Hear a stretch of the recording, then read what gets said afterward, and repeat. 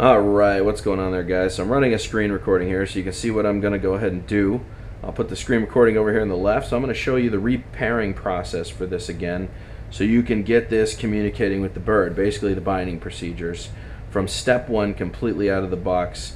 So you've charged up your eHang battery, you've got your your G box charged up, your your uh, Ghost drone is ready to roll. You got your phone out in front of you. So what you're going to do, first thing you're going to do is just tap the power button on your on your G box once. You'll notice it powers up.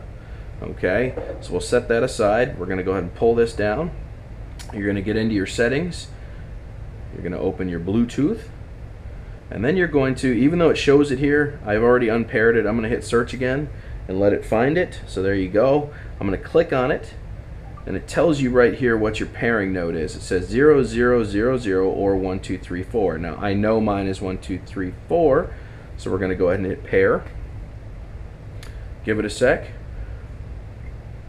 Alright, it is now paired with the G-Box. It's ready to go. It will start communicating as soon as I open the app. So I'm going to go ahead and turn my screen recording off real fast and we'll start it again here sideways. Okay. So now we're going to open the eHang app. See if I can turn this sideways one more time. Open the Ghost Drone app here.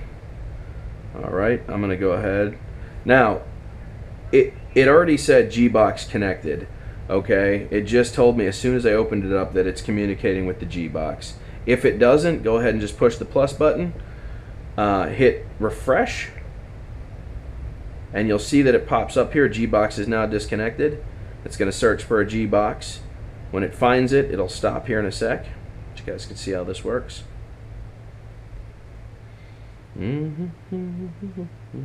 Give it a, a, chance to finish its search. Okay, so it knows that it's the UAV 71. We'll click on it, connect it to the G box. So there's a couple different ways. That's your troubleshooting for the G box, but it doesn't connect. So now we're ready to get the bird connected.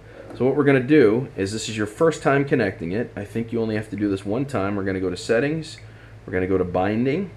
All right, we're going to pull my phone back a little bit. We're going to open the uh, XT connector. I'm also going to show you how to put the battery in properly right now. And the first thing we're going to do is you want to be really quick about this because I think you only have like five to seven seconds. I'm going to go ahead and just plug in the battery real quick. Make sure to be quick. It's a good sized battery. You don't want to fry anything. There we go. And hit bind. Binding successful. It is now communicating with the bird. The G-Box is communicating with this, and my phone is communicating with the G-Box.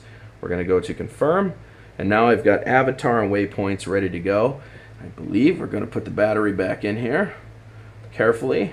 See if we can show you the correct way to do this here. It goes up through the top. It's a bit of a struggle to get it in there the first time here. Let's see if we can get it all the way through. It's kind of hard to hold it at this angle, but there we go. Just push it all the way in.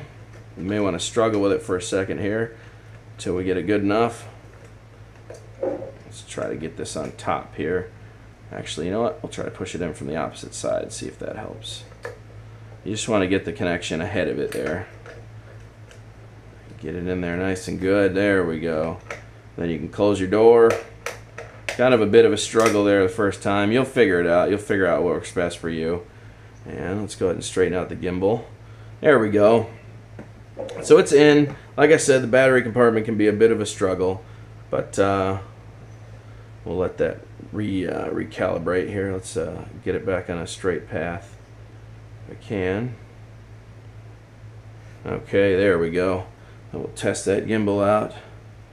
Beautiful. What's up guys? Don't forget to smash that like button. It's free for you and it helps pay me more. It also changes my algorithm, so mad respect if you do. If you haven't subscribed, feel free to subscribe to my channel for more crazy videos like this. And also, I have supplied my email below of every video that I put out in case you guys need to get in contact with me. And below that will also be the address that you can send stuff to. So if you want to send me a piece of mail, feel free to do so. It doesn't matter if it's a package, a box, a hello letter, whatever you guys want to send. I'll be doing a mail time here pretty soon. So thanks for watching. Don't forget to subscribe, and I'll catch you guys on the flip, man. Tootaroo.